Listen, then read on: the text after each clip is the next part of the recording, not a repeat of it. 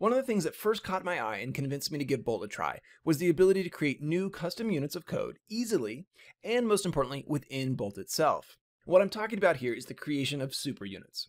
These tend to get skipped over in tutorials, but are a great tool to simplify your code and make it more easy to maintain. If you're building a game with Bolt, you should be using super units. No question, no doubt, 100%. If super units are new to you, they are essentially a flow graph that can nest inside a single block which itself is inside another flow graph. Superunits can play an analogous role to functions or methods in traditional text-based coding. They can be used to greatly simplify your code in a visual sense, which makes it easier to read, understand, and debug.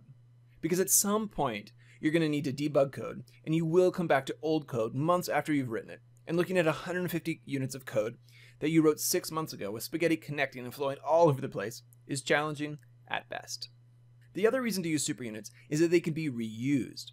It's fairly common to need a certain operation over and over again, maybe even on different scripts. Superunits can be copied and reused in any number of flow graphs, and this can save a huge amount of time. Since superunits are just flow graphs, they come in two flavors, that of embedded and macro. In any flow graph, you can right-click to bring up the fuzzy finder and search for superunit. You can then double-click on the superunit to go into the unit and add functionality. Once inside, you'll see an input and output units. We'll talk more about these. You'll also notice that there's breadcrumb navigation at the top of the flow graph window that can take you back to the parent flow graph. That said, in my opinion, superunits are the most powerful when they're macros, meaning they exist in your project as a separate file. Doing this means that if you find an error or need to update a superunit, you can do it in just one place, and all the instances of the superunit throughout the project will be updated, just like with a normal prefab object. This makes debugging or implementing new features so much easier. You can also easily share a macro with your project collaborators. Having the super unit in your project folders also makes it very easy to drag and drop into other flow macros as you build up your code base. So to create a super unit that is a macro, you simply create a new flow macro in your project folders. In my case, I've created a subfolder just for super units, and I'm calling the super unit for this video vector component add. This superunit is going to be fairly simple in function, but it's something that I find myself doing frequently and requires a decent number of units. And that is adding values to the components of a vector 3. In this superunit, I'll have a vector 3 input, I'll break it into its components, add a value to each component, and then recombine all the components into a new vector and send the value to the output. Opening the superunit macro, rather than adding an event to trigger the code like a normal flow macro, instead I'm going to search for input and output in the fuzzy finder and add those units to the flow graph. But do note that there are different input units and you want the input that is in nesting.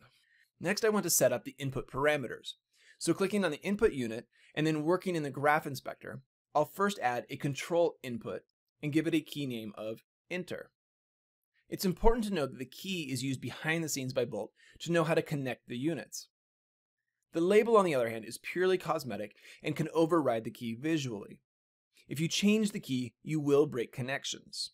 Next, I'll create the value inputs. The first will be a vector 3, followed by a float for the x, y, and z components.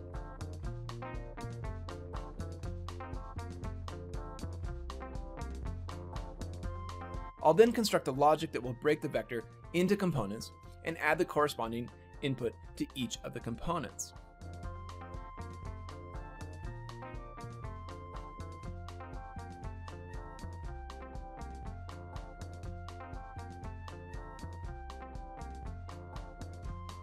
The last step is to create a new vector 3 from the components of the previous vector.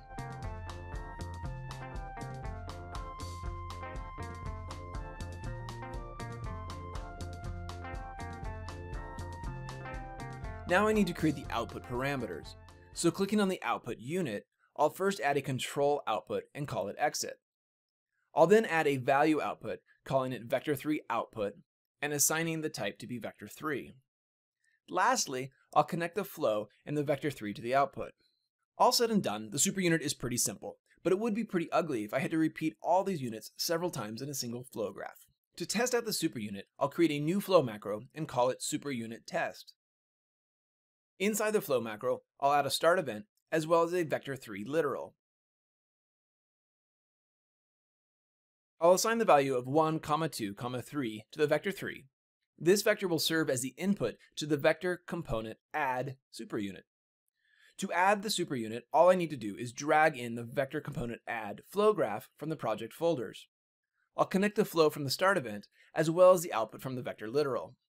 Next, I'll create a float literal and connect it to all three of the float inputs of the superunit. I'll also give the float literal a value of 1. To check that the superunit is working correctly, I'll add a debug log unit to print out the result to the console. Pushing play, I can see the vector 2, comma 3, comma 4, as expected, printed out to the console, so it's working as planned. I can of course then duplicate the superunit and connect it up to add to the vector once again. Testing this again, I can see the vector 3, comma 4, comma 5 printed to the console. Now this is a bit silly, but it does demonstrate how easy it is to use superunits. Let's see if we can take it a step further and make it more useful. If I disconnect the float values and run the code, Bolt will throw an error letting me know that I'm missing an input. I of course could just make sure to have all the inputs connected, or I can go back into the superunit and add default values.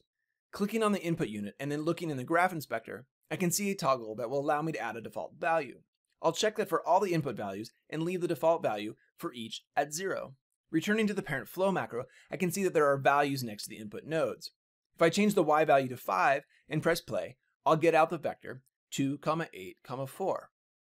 So there you have it. Superunits take a bit of time to make, but they can save a huge amount of time when you're working on a large or more complex project. They can also make your code easier to maintain and to implement new functionality. In my next video, I'll look at using superunits to create a system that can allow Bolt to have return values, much like functions in traditional text-based coding.